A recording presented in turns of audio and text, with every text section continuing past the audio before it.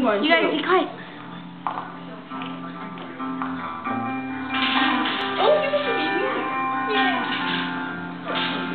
Let's find our ghost.